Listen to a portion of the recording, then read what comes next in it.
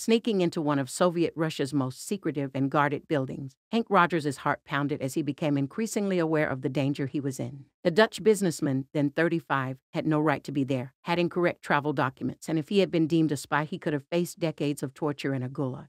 But he was desperate to cut a business deal with shadowy figures in the Soviet government that could make or break him. His high stakes gamble sounds like in Seven Plot, but it is the true story behind block blocking puzzle Tetris, one of the world's most successful and timeless video games. Since its invention in 1984, it has sold more than 520 million copies worldwide and is now set to become a real, ahem, blockbuster with a new movie about its origins. Called simply Tetris, the film stars Brit actor Taron Egerton as Henk and was filmed in Glasgow, which doubles for the bland, brutalist structures of Soviet era Russia.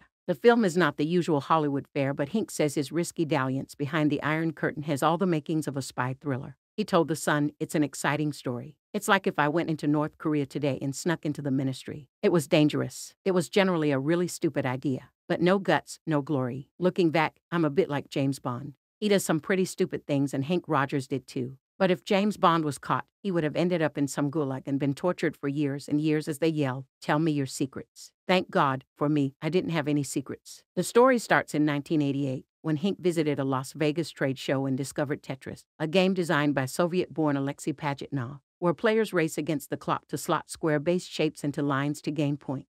He was immediately hooked and brokered a deal with the game's apparent licensee to sell the rights to Nintendo for its first handheld console, the Game Boy. But the arrangement was never approved by Pajitnov, nor its Soviet state owned software developer Elektronorgtechnica, or ELORG, which was prohibited from selling Soviet software. The president of Nintendo America, Minoru Arakawa, called Henk and voiced his doubts about the rights after being offered it by another salesman, who also presumed they had an agreement to sell it. Henk says it was the most stressful moment of his life, as he had already had millions of game cartridges manufactured, using land owned by his wife's family as collateral. He recalled, I told him I'm about to get on a plane and go to Moscow. Give me a shot.